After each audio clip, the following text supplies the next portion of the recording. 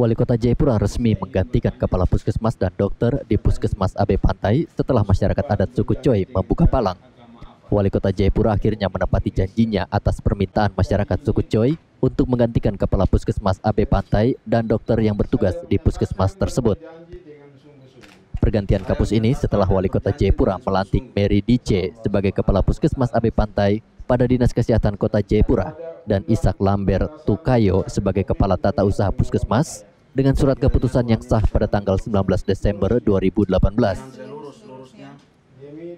Dalam arahannya, Ben Hur Tomimano meminta agar puskesmas tetap dibuka karena melayani masyarakat di daerah setempat secara khusus buat kepala puskesmas dan juga kepala tata usaha yang baru dilantik agar melakukan koordinasi dengan semua pihak yang ada biar terjalin komunikasi yang baik antar sesama.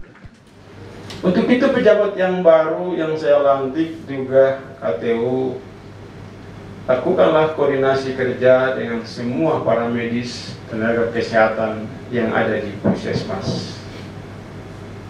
AB Pantai untuk melayani rakyat saya di sekitar Abe Pantai sampai di Koyakoso sampai di uh, jalan naik ke Arso 3 tempat dulu saya tugas di kepala perwakilan kecamatan di Arso 3 sana ada masyarakat gunung yang tinggal di situ layani mereka ada di Tronggoli di situ bila lakukan pelayanan sampai Abe Pantai lakukan pelayanan dengan baik saya minta lakukan kerjasama setelah dilantik. Saya tadi saya tadi lari ke AB Pantai.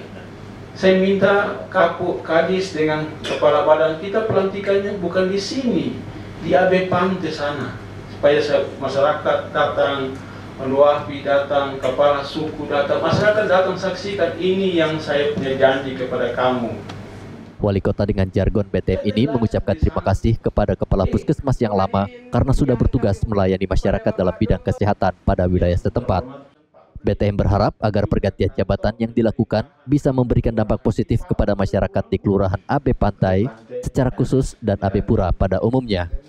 Diharapkan agar peningkatan pelayanan kepada masyarakat bisa berjalan baik agar masyarakat yang bermukim di kawasan AB Pantai dan sekitarnya mendapatkan pelayanan kesehatan.